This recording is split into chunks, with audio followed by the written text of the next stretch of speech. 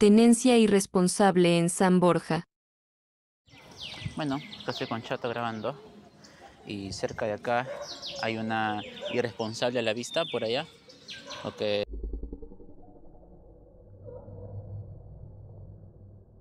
Está caminando, me parece que sí es dueña del perro. Está con su perro con pechera, pero tiene a su Miguel suelto, ¿no? Como pues fuera este el que hace miguito con todos, ¿no? Cuando eso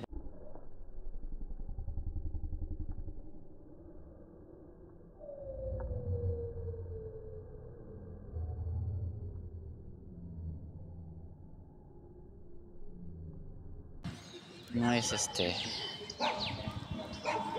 no es una realidad no es una verdad.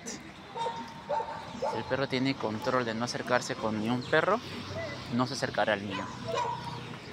Si es que no lo tiene tratará de venir y yo lo voy a tener que votar vamos a ver qué pasa es un señor lo acabo de ver así que lo más probable es que no se acerque igual no solamente es por el perro si hay una persona que no tiene mucho control con su perro, con su pechera, incomoda a un señor. ¿Podrá ese señor con el perro? No se acercó.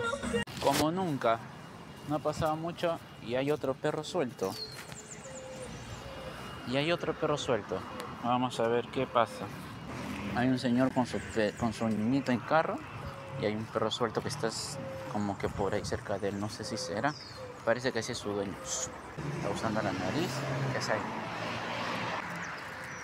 ¿Ves? No estaba mintiendo. no porque el perro sea bueno, quiere decir que no vaya a tener problemas. Porque tú no sabes la capacidad de la otra persona para controlar su perro.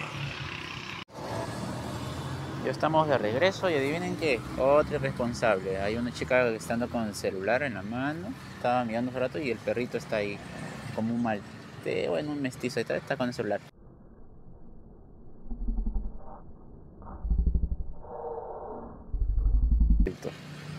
Está suelto. No sé qué está pasando. Que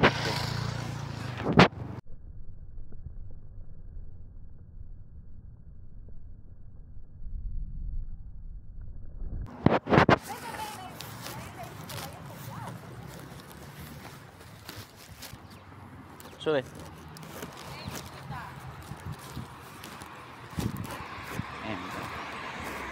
Me cargó un ratito y lo volví a bajar. Ese es el control que dice que tiene. Si no se da cuenta de mí por alguna razón, o yo, o si la persona no le daba la gana de quedarse, acercarse. A su madre. Como buscan el problema acá. Decías, dejar que el perro Acosté, oríneme, mientras que estás con el celular, ¿no? Y tu bolsita, pues, ¿no? Porque si no te multan, pues, acá si multan. Si es que dejan caca, aunque mira, una caca,